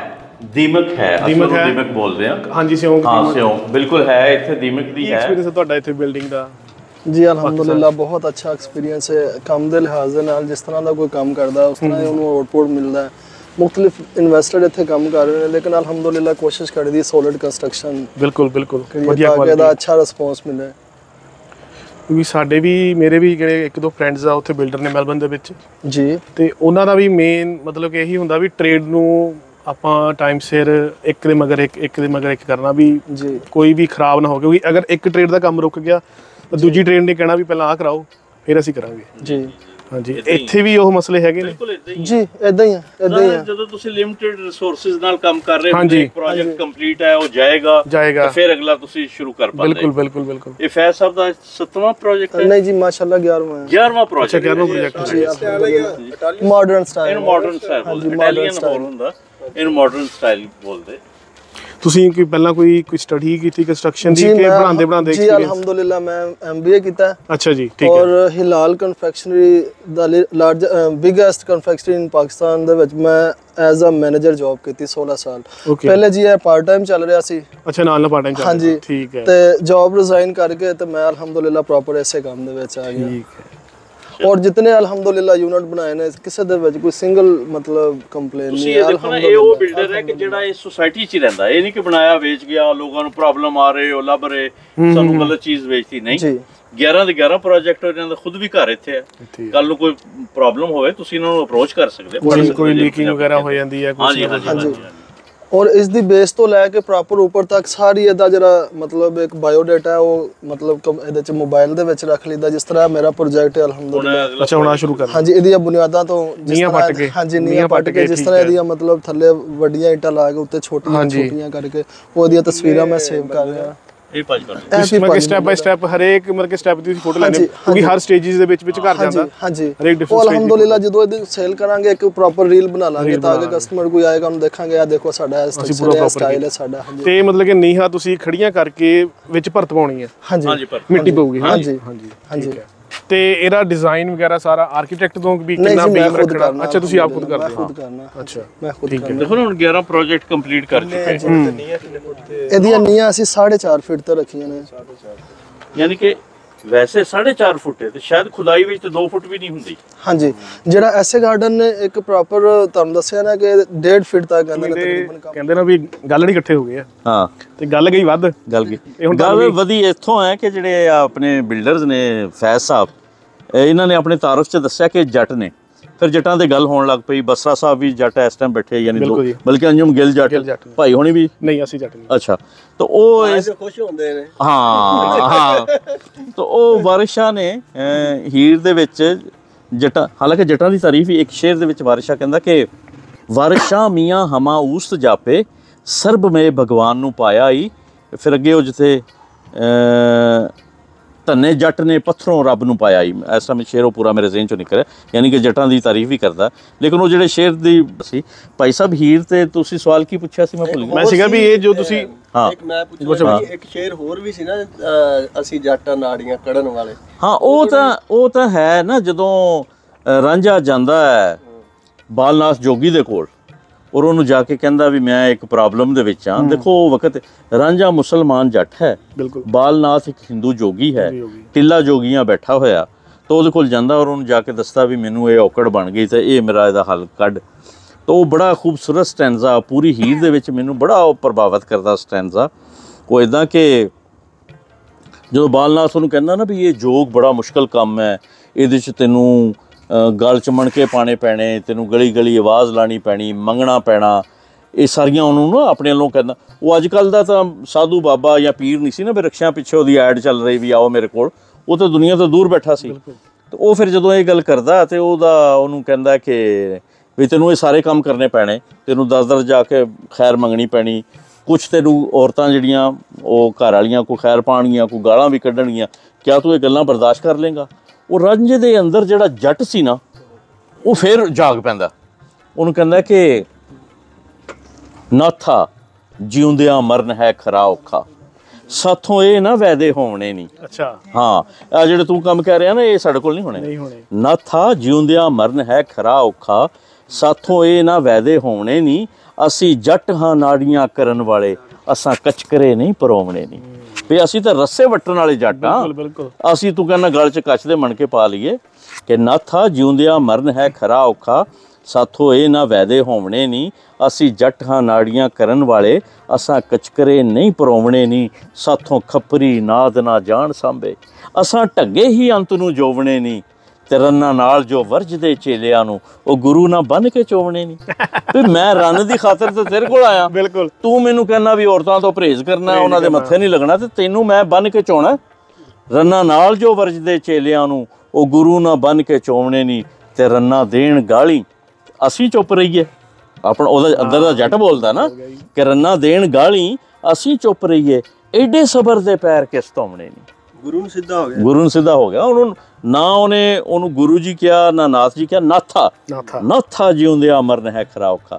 ਫਿਰ ਜਿਹੜੀ ਤੁਸੀਂ ਗੱਲ ਕੀ ਕੀ ਸਵਾਲ ਪੁੱਛਿਆ ਸੀਗਾ ਵੀ ਇਹ ਅਸਲੀ ਵਾਕਿਆ ਹੋਇਆ ਕਿਉਂਕਿ ਤੁਸੀਂ ਦੱਸ ਰਹੇ ਹੋ ਵੀ 8 ਜਣਿਆਂ ਨੇ ਲਿਖੀ ਹੋਈ ਹੈ। ਦੇਖੋ ਨਹੀਂ ਹੀਰ ਇਸ ਤੋਂ ਵੀ ਜ਼ਿਆਦਾ ਬੰਦਿਆਂ ਨੇ ਹੀ ਈਵਨ ਕਿ ਹੀਰ ਔਰ ਰਾਂਝੇ ਦਾ ਕਿੱਸਾ ਅਰਬੀ ਦੇ ਵਿੱਚ ਵੀ ਹੈ ਔਰ ਪਰਸ਼ੀਅਨ ਦੇ ਵਿੱਚ ਵੀ ਹੈ। ਅੱਛਾ ਉੱਥੇ ਨਾਮ ਸੇਮ ਨੇ ਇਹਨਾਂ ਦੇ? ਹਾਂਜੀ ਅਸਲ 'ਚ ਹੋਇਆ ਇਦਾਂ ਹੈ ਕਿ ਪਹਿਲੀ ਜਿਹੜੀ ਹੀਰ ਪੰਜਾਬੀ ਦੇ ਵਿੱਚ ਕਹਿੰਦੇ ਲਿਖੀ ਗਈ ਉਹ ਦਮੁਦਰ ਨੇ ਲਿਖੀ। ਠੀਕ ਹੈ ਜੀ। ਦਮੁਦਰ ਦੇ ਬਾਰੇ 'ਚ ਕਿਹਾ ਜਾਂਦਾ ਕਿ ਅਕਬਰ ਬਾਦਸ਼ਾਹ ਦੇ ਦੌਰ ਦੇ ਵਿੱਚ ਹੋਇਆ ਸ਼ਾਇਰ ਵੀ ਸੀ। ਔਰ ਸ਼ਾਇਦ ਝੰਗ ਵਾਲੇ ਏਰੀਏ ਦਾ ਪਟਵਾਰੀ ਵੀ ਕਿਹਾ ਜਾਂਦਾ ਔਰ ਦਰਬਾਰੀ ਸ਼ਾਇਰ ਵੀ ਕਿਹਾ ਜਾਂਦਾ ਦਮੁਦਰ ਨੂੰ। ਔਰ ਪਹਿਲੀ ਹੀਰ ਦਮੁਦਰ ਨੇ ਲਿਖੀ ਉਸ ਤੋਂ ਬਾਅਦ ਹੋਰ ਬੇਸ਼ੁਮਾਰ ਲੋਕਾਂ ਨੇ ਹਾਫਿਜ਼ ਸ਼ਾਹ ਜਹਾਂ ਮਕਬਲ ਨੇ ਹੀਰ ਲਿਖੀ। ਇੱਕ ਸਾਡੇ ਬੜੇ ਮਜ਼ਾਹੀਆ ਸ਼ਾਇਰ ਹੁੰਦੇ ਸੀ ਜ਼ਮੀਰ ਜਾਫਰੀ ਜੀ ਉਹਨਾਂ ਦੇ ਨਾਨਾ ਜਾਂ ਪਰਨਾਨਾ ਸੀ, ਸ਼ਾਹ ਮੁਹੰਮਦ ਦੀ ਹੀਰ ਹੈ। ਇਹ ਜਿਨ੍ਹਾਂ ਹੀਰਾਂ ਦਾ ਮੈਂ ਨਾਂ ਲਵਾਂਗਾ, ਇਹ ਸਾਰੀਆਂ ਮੈਂ ਪੜੀਆਂ ਹੋਈਆਂ। ਫਿਰ ਜਿਸ ਪਿੰਡ ਦੇ ਵਿੱਚ ਮੇਰਾ ਬਚਪਨ ਗੁਜ਼ਰਿਆ, ਮੁਰਾਲਾ ਪਿੰਡ ਹੈ, ਪਹਿਲੇ ਜ਼ਿਲ੍ਹਾ ਗੁਜਰਾਤ ਸੀ, ਹੁਣ ਜ਼ਿਲ੍ਹਾ ਮੰਡੀ ਬਹੁਦੀਨ ਚ ਹੈ। ਉੱਥੋਂ ਦੇ ਹੋਏ ਮੌਲਵੀ ਅਹਿਮਦ ਯਾਰ ਮੁਰਾਲਵੀ। ਇੱਕ ਹੀਰ ਉਹਨਾਂ ਨੇ ਵੀ ਲਿਖੀ ਹੋਈ ਹੈ। ਫਿਰ ਉਸ ਤੋਂ ਬਾਅਦ ਅਹਿਮਦ ਗੁਜਰ ਨੇ ਹੀਰ ਲਿਖੀ ਹੋਈ ਹੈ। ਫਿਰ ਉਸ ਤੋਂ ਬਾਅਦ ਵਾਰਿਸ਼ਾ ਦੀ ਹੀਰ ਜਿਹੜੀ ਹੈ, ਵਾਰਿਸ਼ਾ ਨੇ ਹੀਰ ਲਿਖੀ ਹੈ। 1766 ਦੇ ਵਿੱਚ ਖੁਦ ਹੀਰ ਦੇ ਵਿੱਚ ਵਾਰਿਸ਼ਾ ਸਾਹਿਬ ਇੱਕ ਜਗ੍ਹਾ ਲਿਖਦੇ ਸਨ 1180 ਯਾ ਨਬੀ ਹਿਜਰਤ ਲੰਮੇ ਦੇਸ਼ ਦੇ ਵਿੱਚ ਤਿਆਰ ਹੋਈ। 1180 ਸਾਡਾ ਇਸਲਾਮੀ ਕੈਲੰਡਰ ਨੂੰ ਅਗਰ ਕਨਵਰਟ ਕਰਦੇ ਆ ਤਾਂ ਉਹ 1766 ਬਣਦਾ ਔਰ ਲੰਮੇ ਦੇਸ਼ ਤੋਂ ਮਤਲਬ ਹੈ ਕਿ ਇਹ ਜਿਹੜਾ ਏਰੀਆ ਸਾਈਵਾਲ ਔਰ ਉਕਾੜੇ ਦਾ ਮਲਕਾ ਹਾਂਸ ਅੱਜ ਵੀ ਉਹ ਮਸਜਿਦ ਮੌਜੂਦ ਹੈ। ਜਿੱਥੇ ਬਹਿ ਕੇ ਵਾਰਿਸ਼ਾ ਨੇ ਇਹ ਹੀਰ ਲਿਖੀ ਹੈ। ਅੱਛਾ ਫਿਰ ਯਾਨੀ ਕਿ ਕਿਹੜੀ ਕਿਹੜੀ ਹੀਰ ਗਣਾਤੀ? ਦਮੋਦਰ ਦੀ ਗਣਾਤੀ ਹਾਫਿਜ਼ ਸ਼ਾਹ ਜਹਾਂ ਮੁਕਬਲ ਦੀ ਸ਼ਾਹ ਮੁਹੰਮਦ ਦੀ ਮੌਲਵੀ ਅਹਿਮਦ ਯਾਰ ਮੁਰਾਲਵੀ ਦੀ ਔਰ ਇੱਕ ਬਹੁਤ ਖੂਬਸੂਰਤ ਹੀਰ ਜਿਹੜੀ ਕਿਸ਼ਨ ਸਿੰਘ ਆਰਫ ਨੇ ਵੀ ਲਿਖੀ ਹੋਈ ਹੈ ਕਲੀਆਂ ਵਾਲੀ ਹੀਰ ਜਿਹਨੂੰ ਕਹਿੰਦੇ ਬਹੁਤ ਸੋਹਣੀ ਹੀਰ ਹੈ। ਮੈਂ ਪਰਸਨਲੀ ਉਸ ਹੀਰ ਨੂੰ ਬਹੁਤ ਪਸੰਦ ਕਰਦਾ। ਫਿਰ ਉਸ ਤੋਂ ਇਲਾਵਾ ਜਿਹੜੀ ਇੱਕ ਹੀਰ ਹੈ ਬਾਬੂ ਰਜਬ ਅਲੀ ਵਾਲੀ ਉਸ ਹੀਰ ਦਾ ਤਾਂ ਮੈਂ ਉਲੱਥਾ ਕੀਤਾ। ਉਸ ਹੀਰ ਦਾ ਮੈਂ ਗੁਰਮੁਖੀ ਤੋਂ ਸ਼ਾਹਮੁਖੀ ਉਲੱਥਾ ਕੀਤਾ। ਔਰ ਫਸਟ ਐਵਰ ਕੋਈ ਬਾਬੂ ਰਜਬ ਅਲੀ ਜੀ ਦੀ ਕੋਈ ਬੁੱਕ ਹੈ ਜਿਹੜੀ ਸਾਡੇ ਪੰਜਾਬ ਦੇ ਵਿੱਚੋਂ ਲੱਥਾ ਹੋ ਕੇ ਛਪੀ ਉਹ ਰੱਬ ਨੇ ਇਹ ਕ੍ਰੈਡਿਟ ਮੈਨੂੰ ਦਿੱਤਾ। ਮੈਂ ਇੱਕ ਗੱਲ ਇੱਥੇ ਵੀ ਟੋਕਣੀ ਚਾਹੂੰਗਾ ਜਦੋਂ ਮੈਂ ਭਾਜੀ ਦੀ ਲਾਇਬ੍ਰੇਰੀ 'ਚ ਐਂਟਰ ਹੋਇਆ ਤੇ ਮੈਨੂੰ ਉੱਥੇ ਗੁਰਮੁਖੀ ਦੀਆਂ ਕਿਤਾਬਾਂ ਦਿਖੀਆਂ ਤੇ ਮੈਂ ਭਾਜੀ ਨੂੰ ਪੁੱਛਿਆ ਮੈਂ ਕਿਹਾ ਭਾਜੀ ਇੱਥੇ ਗੁਰਮੁਖੀ ਕੌਣ ਪੜ੍ਹਦਾ? ਤੇ ਭਾਜੀ ਮੈਨੂੰ ਦੱਸਦੇ ਨੇ ਵੀ ਮੈਂ ਆਲਰੇਡੀ ਚਾਰ ਕਿਤਾਬਾਂ ਦੇ ਸੱਤ ਕਿਤਾਬਾਂ। ਸੱਤ ਕਿਤਾਬਾਂ ਦੇ ਟੋਟਲ ਸੱਤ ਕਿਤਾਬਾਂ ਜਿਨ੍ਹਾਂ ਦੇ ਗੁਰਮੁਖੀ ਤੋਂ ਸ਼ਾਹਮੁਖੀ ਔਰ ਸ਼ਾਹਮੁਖੀ। ਤੋਂ ਗੁਰਮੁਖੀ ਵੀ ਕੀਤੇ। ਅੱਛਾ ਜੀ ਦੇਖ ਲਓ। ਬਾਬਾ ਗੁਲਾਮ ਹੁਸੈਨ ਨਦੀਮ ਜੀ ਦੀ ਕਿਤਾਬ ਜਿਹੜੀ ਚੇਤਨਾ ਪ੍ਰਕਾਸ਼ਨ ਲੁਧਿਆਣਾ ਨੇ ਛਾਪੀ। ਗੁਲਾਟੀ ਜੀ ਨੇ। ਉਹਦੇ ਵਿੱਚ ਵੀ ਮੈਂ ਮੇਰਾ ਯੋਗਦਾਨ ਹੈ। ਤੋਂ ਇਸ ਕਰਕੇ ਇਹ ਮੇਰਾ ਸ਼ੌਕ ਹੈ। ਪੰਜਾਬੀ ਪੜ੍ਹਨਾ ਪੰਜਾਬੀ ਹਾਲਾਂਕਿ ਮੈਂ ਪੰਜਾਬੀ ਵਾਲਾ ਬੰਦਾ ਨਹੀਂ ਸੀ। ਮੈਂ ਤਾਂ ਦੁਆਵਾਂ ਦੇਣਾ ਸ਼ਰੀਫ ਸਾਬਰ ਜੀ ਨੂੰ। ਮੈਂ ਜਿੱਦਾਂ ਇਹ ਫੈਜ਼ ਸਾਹਿਬ ਨੇ ਦੱਸਿਆ ਕਿ ਮੈਨੇਜਰ ਦੀ ਜੌਬ ਛੱਡ ਕੇ ਆਏ। ਮੈਂ ਵੀ ਪਾਕਿਸਤਾਨ ਦੀ ਇੱਕ ਬਹੁਤ ਵੱਡੀ ਇੰਡਸਟਰੀ ਮੈਂ ਵੀ ਐਮਬੀਏ ਕੀਤਾ ਹੋਇਆ। ਆਈ ਵਾਸ ਅ ਮਾਰਕੀਟਿੰਗ ਗਾਏ ਤਾਂ ਮੈਨੂੰ ਮਾਰਕੀਟਿੰਗ ਤੋਂ ਪੰਜਾਬੀ ਵੱਲ ਲੈ ਕੇ ਆਉਣ ਵਾਲੇ ਸੂਫੀ ਪੋਇਟਰੀ ਵੱਲ ਲੈ ਕੇ ਆਉਣ ਵਾਲੇ ਸ਼ਰੀਫ ਸਾਬਰ ਸਾਹਿਬ ਹੈ। ਬਹੁਤ ਵੱਡੇ ਪੰਜਾਬੀ ਦੇ ਰਿਸਰਚਰ ਹੋਏ। ਉਹਨਾਂ ਦੀ 14 ਸਾਲ ਦੀ ਖੋਜ ਹੈ ਹੀਰ ਵਾਰਿਸ ਦੇ ਉੱਤੇ। ਉਹਨਾਂ ਦਾ ਮਜ਼ਾਰ ਇੱਥੇ ਕੋਈ 30 35 ਕਿਲੋਮੀਟਰ ਤੇ ਹੈ। ਨਾਰੰਗ ਸ਼ਹਿਰ ਤੋਂ ਪਹਿਲੇ ਚੱਕਤੀ ਦੋ। ਹਾਫਿਜ਼ ਸੂਫੀ ਮੁਹੰਮਦ ਅਫਜ਼ਲ ਫਕੀਰ ਸਾਹਿਬ ਦਾ ਡੇਰਾ ਉਹਦੇ ਉੱਤੇ ਉਹਨਾਂ ਦਾ ਹੈ। ਤੇ ਮੈਨੂੰ ਪੰਜਾਬੀ ਦੀ ਚਾਟ ਉਹਨਾਂ ਨੇ ਲਾਈ ਔਰ ਮੈਂ ਉਹਨਾਂ ਦਾ ਧੰਨਵਾਦੀ ਹਾਂ ਕਿ ਮੈਨੂੰ ਮੁਨੀਰ ਨੂੰ ਮੇਰਾ ਨਾਮ ਜਿਹੜਾ ਸੀ ਉਹ ਮੁਨੀਰ ਅਹਿਮਦ ਇਕਬਾਲ ਸੀ। ਮੁਨੀਰ ਅਹਿਮਦ ਇਕਬਾਲ ਤੋਂ ਮੁਨੀਰ ਹੁਸ਼ਿਆਰਪੁਰੀਆ ਬਣਾਉਣ ਵਾਲੇ ਸ਼ਰੀਫ ਸਾਬਰ ਜੀ ਹੈ। ਔਰ ਮੈਂ ਕੱਲ ਮੈਂ ਜਿੱਦਾਂ ਤੁਹਾਨੂੰ ਪਹਿਲਾਂ ਦੱਸਿਆ ਵੀ ਆਪਣੀ ਫੈਮਿਲੀ ਦੇ ਵਿੱਚੋਂ ਪਹਿਲਾਂ ਹੀ ਆ 70 72 ਸਾਲਾਂ 'ਚ ਜਿਹੜਾ ਪਹਿਲੀ ਵਾਰੀ ਆਪਣੇ ਪਿੰਡ ਜਾਊਂਗਾ। ਕੀ ਬਾਤ ਹੈ ਜੀ ਕੀ ਬਾਤ ਹੈ। 70 78 ਸਾਲ ਹੋ ਗਏ। ਰਸਤੇ ਦੇ ਵਿੱਚ ਤੁਸੀਂ ਬਾਬਰ ਜਲੰਧਰੀ ਸਾਹਿਬ ਦੇ ਸ਼ਹਿਰ ਪੱਤੋਕੀ ਤੋਂ ਗੁਜ਼ਰ ਕੇ ਜਾਣਾ ਹੈ। ਕਦੋਂ ਕਿਤੋਂ ਜਾਣਾ ਛੱਡ ਕੇ ਕਿ ਦੇਖੋ ਮੈਂ ਉਹੀ ਗੱਲ ਕਰਨ ਲੱਗਾ ਸੀ ਕਿ ਦਮੁਦਰ ਨੇ ਦਮੁਦਰ ਨੇ ਕਲੇਮ ਕੀਤਾ ਕਿ ਹੀਰ ਤੇ ਰਾਂਝੇ ਨੂੰ ਮੈਂ ਦੇਖਿਆ ਹੋਇਆ। ਠੀਕ ਹੈ। ਦਮੁਦਰ ਇਹ ਕਲੇਮ ਕਰਦਾ। ਲੇਕਿਨ ਜਿਹੜੇ ਬਾਅਦ ਦੇ ਖੋਜਕਾਰ ਹੈ ਉਹਨਾਂ ਨੇ ਉਹਦੀ ਇਸ ਗੱਲ ਨੂੰ ਝੂਠ ਸਾਬਤ ਕਰਤਾ। ਕਿ ਇੱਕ ਦਾਸਤਾਨ ਜ਼ਰੂਰ ਹੈ। ਲੇਕਿਨ ਇਹਨੂੰ ਇਹ ਜਿਹੜਾ ਕਹਿੰਦਾ ਇਹ ਦੋਨੋਂ ਕਰੈਕਟਰ ਮੈਂ ਦੇਖੇ ਹੋਏ। ਤੇ ਮੈਨੂੰ ਇੱਕ ਚੀਜ਼ ਦੱਸੋ ਵੀ ਜਿੰਨੀਆਂ ਵੀ ਮੈਂ ਕਿ ਜਿਨ੍ਹਾਂ ਜਿਨ੍ਹਾਂ ਨੇ ਵੀ ਹੀਰ ਰਾਂਝਾ ਲਿਖਿਆ ਹਾਂ। ਸਾਰਿਆਂ ਦਾ ਐਂਡ ਸੇਮ ਹੈ? ਹਾਂ ਬਹੁਤ ਅੱਛੀ ਗੱਲ ਕੀਤੀ। ਇਹ ਅੱਠ ਹੀਰਾ ਮੈਂ ਪੜੀਆਂ ਬਿਲਕੁਲ ਸੇਮ ਹੈ ਹੀਰ ਦਾ ਥੀਮ ਸੇਮ ਹੈ। ਹਰ ਇੱਕ ਹੀਰ ਦੇ ਵਿੱਚ ਹੀਰ ਨੂੰ ਇੱਕ ਬਾਗੀ ਕੁੜੀ ਜਿਹੜੀ ਸਿਸਟਮ ਦੇ ਖਿਲਾਫ ਬਗਾਵਤ ਕਰਦੀ ਬਣਾ ਕੇ ਪੇਸ਼ ਕੀਤਾ ਗਿਆ। ਠੀਕ ਹੈ। ਵਾਰਿਸ਼ਾਂ ਨੂੰ ਤਾਂ ਦੁਨੀਆ ਮੰਨਦੀ। ਜੀ। ਕਿ ਜਿਹੜਾ ਬੰਦਿਆਂ ਨੇ ਵਾਰਿਸ਼ਾਂ ਦੇ ਉੱਤੇ ਕਈ ਤਾਂ ਉਹਦੇ ਤੇ ਪੀਐਚਡੀ ਕਰ ਗਏ ਔਰ ਇਹਨੂੰ ਪੰਜਾਬੀ ਦਾ ਸ਼ੇਕਸਪੀਅਰ ਬੋਲਿਆ ਜਾਂਦਾ। ਬਿਲਕੁਲ। ਹਾਲਾਂਕਿ ਮੈਂ ਸਮਝਦਾ ਕਿ ਸ਼ੇਕਸਪੀਅਰ ਬਹੁਤ ਛੋਟਾ ਮੈਂ ਸ਼ੇਕਸਪੀਅਰ ਨੂੰ ਪੜ੍ਹਿਆ ਹੋਇਆ ਮੈਂ ਇੰਗਲਿਸ਼ ਲਿਟਰੇਚਰ ਦੇ ਵਿੱਚ ਬਹੁਤ ਡੀਪਲੀ ਪੜ੍ਹਿਆ ਹੋਇਆ ਸ਼ੇਕਸਪੀਅਰ ਦੇ ਇੰਗਲਿਸ਼ ਡਰਾਮਿਆਂ ਤੇ ਮੈਂ ਪਰਫਾਰਮ ਕੀਤਾ ਹੋਇਆ ਲੇਕਿਨ ਮੈਂ ਸਮਝਦਾ ਕਿ ਵਾਰਿਸ ਦਾ ਇੱਕ ਇੱਕ ਜਿਹੜੀ ਉਹਦੀ ਗੱਲ ਹੈ ਹੀਰ ਦੇ ਵਿੱਚ ਲਿਖੀ ਹੋਈ ਜਿਹੜਾ ਕੰਨ ਲਪੇਟ ਕੇ ਨਸ ਜਾਏ ਮਗਰ ਲੱਗ ਕੇ ਉਸ ਨੂੰ ਤਸੀਏ ਕਿਉਂ? ਵਾਰਿਸ ਉਜਾੜ ਕੇ ਵਸਦਿਆਂ ਨੂੰ ਆਪ ਖੈਰ ਦੇ ਨਾਲ ਫਿਰ ਵਸੀਏ ਕਿਉਂ? ਜਿਹੜੀਆਂ ਲੈਣ ਉਡਾਰੀਆਂ ਨਾਲ ਬਾਜ਼ਾਂ ਉਹ ਬੁਲਬੁਲਾਂ ਠੀਕ ਮਰੇ ਦੀ ਹਾਲਾਂਕਿ ਸਾਰਿਆਂ ਨੇ ਆਪਣੀ ਹੀਰ ਦੇ ਵਿੱਚ ਥੱਕ ਲਿਖਿਆ। ਸ਼ਰੀਫ ਸਾਬਰ ਸਾਹਿਬ ਨੇ ਆਪਣੀ ਹੀਰ ਦੇ ਵਿੱਚ ਠੀਕ ਦਾ ਲਫ਼ਜ਼ ਵਰਤਿਆ ਕਿ ਜਿਹੜੀਆਂ ਲੈਣ ਉਡਾਰੀਆਂ ਨਾਲ ਬਾਜ਼ਾਂ ਉਹ ਬੁਲਬੁਲਾਂ ਠੀਕ ਮਰਿੰਦੀਆਂ ਨੇ। ਉਹਨਾਂ ਹਰਨੀਆਂ ਦੀ ਉਮਰ ਹੋ ਚੁੱਕੀ ਜੋ ਪਾਣੀ ਸ਼ੇਰ ਦੀ ਜੂਗ ਜੋ ਪੀਂਦੀਆਂ ਨੇ। ਕਿੰਨੀਆਂ ਸੋਹਣੀਆਂ ਗੱਲਾਂ ਕੀਤੀਆਂ। ਐਂਡ ਦੇ ਉੱਤੇ ਅਗਰ ਵਾਰਿਸ਼ਾ ਦੀ ਹੀਰ ਦਾ ਤੁਸੀਂ ਜਿਹੜਾ ਥਰਡ ਲਾਸਟ ਸਟੈਂਜ਼ਾ ਹੈ ਜਾਂ ਫੋਰਥ ਲਾਸਟ ਹੈ ਉਹਦੇ ਵਿੱਚ ਬਲਕਿ ਇੱਕ ਜਗ੍ਹਾ ਦੇ ਉੱਤੇ ਤਾਂ ਵਾਰਿਸ਼ਾ ਨੇ ਇਹ ਵੀ ਲਿਖਿਆ। ਇਹ ਕੁਰਾਨ ਸ਼ਰੀਫ ਦੇ ਮਾਣੇ ਨੇ ਜੋ ਸ਼ੇਰ ਮੀਏ ਵਾਰਿਸ ਸ਼ਾਹ ਦੇ ਨੇ। ਯਾਨੀ ਕਿ ਵਾਰਿਸ ਸ਼ਾਹ ਕਹਿੰਦਾ ਹੈ ਕਿ ਜਿਹੜੀ ਸਾਡੀ ਗ੍ਰੰਥ ਹੈ, ਮੁਕੱਦਸ ਕਿਤਾਬ ਹੈ ਕੁਰਾਨੇ ਪਾਕ, ਕਿ ਮੈਂ ਉਹਦਾ, ਉਹਦੇ ਅਰਥ ਲਿਖੇ ਹੈ। ਇਹ ਜਿਹਨੂੰ ਤੁਸੀਂ ਕੁੜੀ ਮੁੰਡੇ ਦੀ ਕਹਾਣੀ ਸਮਝ ਰਹੇ ਨਾ, ਮੈਂ ਤਾਂ ਇਹ ਕੁਰਾਨੇ ਪਾਕ ਦੇ, ਮੁਕੱਦਸ ਕਿਤਾਬ ਦੇ ਅਰਥ ਮਾਨੇ ਲਿਖੇ ਹੈ ਕਿ ਮੈਂ ਕੋਈ ਆਪਣੇ ਵੱਲੋਂ ਚੀਜ਼ ਨਹੀਂ ਲਿਖੀ। ਉਹਦੇ ਵਿੱਚ ਇੱਕ ਐਸੀ ਦੁਕਾਨ ਹੈ ਵਾਰਿਸ ਸ਼ਾਹ ਦੀ, ਹੀਰ ਵਾਰਿਸ ਸ਼ਾਹ। ਉਹਦੇ ਵਿੱਚੋਂ ਹਰ ਬੰਦੇ ਨੂੰ ਹਰ ਤਰ੍ਹਾਂ ਦਾ ਸੌਦਾ ਮਿਲਦਾ, ਮੌਲਵੀਆਂ ਨੂੰ ਉਹਨਾਂ ਦਾ ਸੌਦਾ ਮਿਲ ਜਾਂਦਾ। ਇਸ਼ਕ ਮਸ਼ੂਕੀ ਵਾਲਿਆਂ ਨੂੰ ਉਹਨਾਂ ਦੇ ਮੁਤਾਬਕ ਸ਼ੇਰੋ ਸ਼ਾਇਰੀ ਮਿਲ ਜਾਂਦੀ, ਤਸਵਫ ਵਾਲਿਆਂ ਨੂੰ ਉਹਦੇ ਮੁਤਾਬਕ ਚੀਜ਼ਾਂ ਮਿਲ ਜਾਂਦੀਆਂ, ਬਗਾਵਤ ਕਰਨ ਵਾਲਿਆਂ ਨੂੰ ਉਹਨਾਂ ਦੇ ਮੁਤਾਬਕ ਚੀਜ਼ਾਂ ਮਿਲ ਜਾਂਦੀਆਂ। ਤੁਸੀਂ ਹੀਰ ਨੂੰ ਪੜੋ ਇੱਕ ਪੂਰੇ ਪੰਜਾਬ ਦਾ ਇਨਸਾਈਕਲੋਪੀਡੀਆ ਹੈ। ਜਦੋਂ ਵਾਰਿਸ ਸ਼ਾਹ ਮੱਝ, ਮੈਂ ਇਸ ਟਾਈਮ ਜਿਹੜਾ, ਹਾਂ ਮਜ਼ੇਦਾਰ ਦੀ ਮੈਂ ਜਿਸ ਜਗ੍ਹਾ ਤੇ ਬੈਠਾ, ਐਸੇ ਗਾਰਡਨ ਹੈ। ਇਹ ਦੁਨੀਆ ਦਾ ਨੰਬਰ 1 ਬਾਸਮਤੀ ਰਾਈਸ ਇਸ ਏਰੀਆ ਦੇ ਵਿੱਚ ਪੈਦਾ ਹੁੰਦਾ। ਔਰ ਮੇਰੇ ਬਿਲਕੁਲ ਸਾਹਮਣੇ ਪਾਕਿਸਤਾਨ ਦਾ ਰਾਈਸ ਰਿਸਰਚ ਇੰਸਟੀਚਿਊਟ ਹੈ। ਮੇਰੇ ਅੱਬਾ ਜੀ ਅਤੇ ਦਾਦਾ ਜੀ ਇੱਥੇ ਰਿਟਾਇਰ ਹੋਏ। ਰਿਟਾਇਰ ਹੋਏ ਦੇਖ ਲਓ ਜੀ। ਹੀਰ ਵਾਰਿਸ ਸ਼ਾਹ ਦੇ ਵਿੱਚ 12 ਕਿਸਮਾਂ ਦੇ ਚੌਲਾਂ ਦਾ ਜ਼ਿਕਰ ਹੈ ਜਿਹੜੇ ਹੀਰ ਦੇ ਵਿਆਹ ਦੇ ਉੱਤੇ ਪੱਕੇ ਸੀ। ਵਾਰਿਸ ਸ਼ਾਹ ਨੇ ਹਾਂ ਮੁਸ਼ਕੀ ਹੈ ਬਾਸਮਤੀ ਹੈ ਮੁਸਾਫਰੀ ਹੈ ਬੇਗਮੀ ਹੈ ਕਿਰਚ ਕਿਲਾ ਹੈ ਅ, ਫਿਰ ਸੱਠੀ ਹੈ। ਯਾਨੀ ਕਿ 12 ਕਿਸਮਾਂ ਦੇ ਚੌਲ ਸੀ ਜਿਹੜੇ ਵਾਰਿਸ ਸ਼ਾਹ ਯਾਨੀ ਕਿ ਲੱਗਦਾ ਇਦਾਂ ਕਿ ਵਾਰਿਸ ਸ਼ਾਹ ਵਰਗਾ ਕੋਈ ਕਿਸਾਨ ਨਹੀਂ ਹੋਏਗਾ ਦੁਨੀਆ ਦੇ ਉੱਤੇ। ਜਦੋਂ ਵਾਰਿਸ ਸ਼ਾਹ ਮੱਝਾਂ ਦੀ ਗੱਲ ਕਰਦਾ ਤਾਂ ਲੱਗਦਾ ਕਿ ਇਹਦੇ ਵਰਗਾ ਕੋਈ ਦੁਨੀਆ ਤੇ ਛੇੜੂ ਨਹੀਂ ਹੋਏਗਾ। ਜਦੋਂ ਵਾਰਿਸ ਸ਼ਾਹ ਗਹਿਣਿਆਂ ਦੀ ਗੱਲ ਕਰਦਾ ਤਾਂ ਲੱਗਦਾ ਕੋਈ ਜੱਦੀ ਪੁਸ਼ਤੀ ਕੋਈ ਸੁਨਿਆਰਾ ਹੋਏਗਾ। ਇਸ ਲੈਵਲ ਤੇ ਉਹ ਕੰਮ ਕਰਦਾ। ਬਲਕਿ ਬਾਬੂ ਰਜਬ ਵਾਲੀ ਹੀਰ ਦੇ ਵਿੱਚ ਇੱਕ ਲਫ਼ਜ਼ ਆ ਗਿਆ, ਤਾਂ ਮੈਨੂੰ ਉਹਦੇ ਮੀਨਿੰਗ ਨਹੀਂ ਸੀ ਪਤਾ ਚੱਲ ਰਹੇ। ਬੇਸਰ, ਸੁਨਿਆਰਾ ਘੜੇ ਬੇਸਰ ਨੂੰ। ਤਾਂ ਮੈਂ ਫਿਰ ਬੇਸਰ ਦੀ ਬੜੀ ਖੋਜ ਕੀਤੀ। ਮੈਂ ਉਹਨੂੰ ਉਦਾਂ ਨਹੀਂ ਸੀ ਲਿਖਣਾ ਚਾਹੁੰਦਾ। ਤਾਂ ਮੈਨੂੰ ਫਿਰ ਪਤਾ ਲੱਗਿਆ ਇੱਕ ਪੁਰਾਣਾ ਸੁਨਿਆਰਾ ਪਾਣੀਪਤ ਦੇ ਵਿੱਚ ਗੱਲ ਹੋਈ। ਹਾਲਾਂਕਿ ਜਿਹੜੇ ਬਾਬੂ ਰਜਬ ਅਲੀ ਦੀ ਹੀਰ ਗਾਉਂਦੇ ਆ ਕਵਿਸ਼ਰ ਹਾਂਜੀ। ਉਹਨਾਂ ਨਾਲ ਵੀ ਮੈਂ ਗੱਲ ਕੀਤੀ ਉਹਨਾਂ ਨੂੰ ਵੀ ਨਹੀਂ ਸੀ ਪਤਾ। ਉਹਨਾਂ ਨੂੰ ਉਹ ਕਹਿੰਦੇ ਅਸੀਂ ਗਾਉਂਦੇ ਜ਼ਰੂਰ ਆ ਸਾਨੂੰ ਪਤਾ ਨਹੀਂ ਹੈ। ਤਾਂ ਮੈਨੂੰ ਉਹਨੇ ਦੱਸਿਆ ਵੀ ਜਿਹੜੀ ਵੱਡੀ ਨੱਥ ਹੁੰਦੀ ਨਾ ਵੱਡੇ ਸਾਈਜ਼ ਦੀ ਨੱਥ ਜਿਹੜੀ ਕੱਲੀ ਨਹੀਂ ਠਹਿਰ ਸਕਦੀ ਜਿਹਨੂੰ ਠਹਿਰਾਣ ਦੇ ਲਈ ਉਹਦਾ weight ਇੰਨਾ ਹੁੰਦਾ ਕਿ ਉਹਨੂੰ ਬੰਨਣਾ ਪੈਂਦਾ ਵਾਲਾਂ ਦੇ ਨਾਲ। ਇੰਨਾ ਉਹਦਾ weight ਹੁੰਦਾ ਉਹਨੂੰ ਬੇਸਰ ਕਹਿੰਦੇ ਆ। ਯਾਨੀ ਕਿ ਇਹ ਵਾਰਿਸ ਸ਼ਾਹ ਨੇ ਜੋ ਅਗਰ ਤੁਸੀਂ ਦੇਖਣਾ ਕਿ ਉਸ ਵਕਤ ਪੰਜਾਬ ਕਿਦਾਂ ਦਾ ਸੀ ਤੇ ਤੁਸੀਂ ਵਾਰਿਸ ਦੀ ਹੀਰ ਪੜੋ, ਤੁਹਾਨੂੰ ਇੱਕ ਇੱਕ ਚੀਜ਼ ਨਜ਼ਰ ਆ ਜਾਏਗੀ। ਬਹੁਤ ਸੋਹਣੀਆਂ, ਬਹੁਤ ਸੋਹਣੀ ਉਹਦੇ ਵਿੱਚ ਗੱਲਾਂ। ਯਾਨੀ ਕਿ ਉਹਨੇ ਜੋ ਗੱਲਾਂ ਕੀਤੀਆਂ, ਉਹ ਉਹਨੇ ਜਿਹਨੂੰ ਕਹਿੰਦੇ ਸੱਤ ਕੱਢਿਆ ਹੋਇਆ, ਨਿਚੋੜ ਹੈ ਉਹ ਵਾਰਿਸ ਸ਼ਾਹ ਦੀਆਂ। ਮਾਣ ਮਤੀਏ, ਰੂਪ ਗੁਮਾਨ ਭਰੀਏ, ਅਟਕੇਲੀਏ, ਰੰਗ ਰੰਗੀਲੀਏ ਨੀ। ਆਸ਼ਕ, ਭੌਰ, ਫਕੀਰ ਤੇ ਨਾਗ ਕਾਲੇ, ਬਾਜ ਮੰਤਰੋਂ ਮੂਲ ਨਾ ਕੀਲੀਏ ਨੀ। ਵਾਰਿਸ ਸ਼ਾਹ ਉੱਥੇ ਨਹੀਂ, ਫੁਰੇ ਮੰਤਰ, ਜਿੱਥੇ ਇਸ਼ਕ ਨੇ ਦੰਦੀਆਂ ਮਾਰੀਆਂ ਜੀ। ਕਿੰਨੀਆਂ ਸੋਹਣੀਆਂ ਗੱਲਾਂ। ਵੀਰ ਦਰਪ੍ਰੀਤ ਜੀ ਆਏ ਸੀ ਲੁਧਿਆਣਾ ਦੇ ਰਹਿਣ ਵਾਲੇ ਲੇਕਿਨ ਅੱਜ ਕੱਲ ਆਸਟ੍ਰੇਲੀਆ ਹੁੰਦੇ।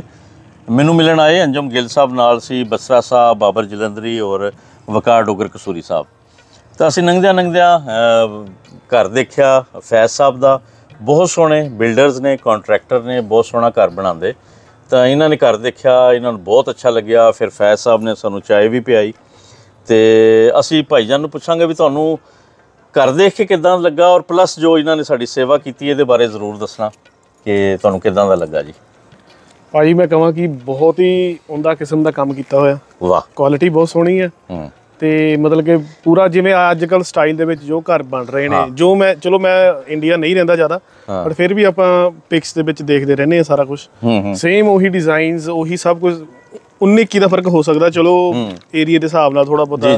ਹਰੇਕ ਦਾ ਟੇਸਟ ਵੀ ਡਿਫਰੈਂਟ ਹੁੰਦਾ ਬਟ ਮੈਂ ਕਹੂੰਗਾ ਜੀ ਬਹੁਤ ਸੋਹਣਾ ਕੰਮ ਕੀਤਾ ਹੋਇਆ ਵਾਹ ਮੈਂ ਇੱਕ ਤੇ ਘਰ ਦੇ ਉੱਤੇ ਕੀਤੀ ਦੂਸਰਾ ਇਹਨਾਂ ਨੇ ਇੱਕ ਪ੍ਰੋਪਰ ਉਰਦੂ ਦਾ ਵਰਡ ਬੋਲਿਆ ਉਮਦਾ। ਹੁੰਦਾ ਹਾਲਾਂਕਿ ਆਮ ਤੌਰ ਤੇ ਇਦਾਂ ਦੇ ਵਰਡਿੰਗ ਇਹਨਾਂ ਦੇ ਅੱਖਰ ਸ਼ਬਦ ਨਹੀਂ ਜੀ।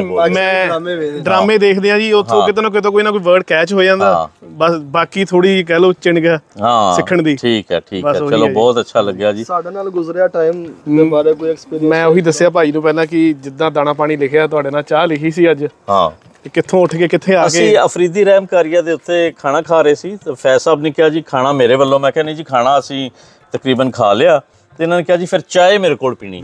ਤੇ ਰੀਸੈਂਟਲੀ ਇਹਨਾਂ ਦਾ ਪ੍ਰੋਜੈਕਟ ਇਧਰ ਦਿਖਾ ਦਿਓ ਇੱਕ ਦਫਾ ਫਿਰ। ਇਹਨਾਂ ਦਾ ਪ੍ਰੋਜੈਕਟ ਕੰਪਲੀਟ ਹੋਇਆ ਤਾਂ ਫਿਰ ਅਸੀਂ ਚਾਹ ਪੀਤੀ ਔਰ ਬੜਾ ਮਜ਼ਾ ਆਇਆ ਜੀ। ਅਸੀਂ ਬਹੁਤ ਸ਼ੁਕਰਗੁਜ਼ਾਰ ਹਾਂ ਮੈਂ ਧੰਨਵਾਦੀ ਖਾਹਿਸ਼ ਕਰਨਾ ਜੀ ਭਾਈ ਹਰੀ ਜਦੋਂ ਵੀ ਦੁਬਾਰਾ ਆਣ ਹਾਂ।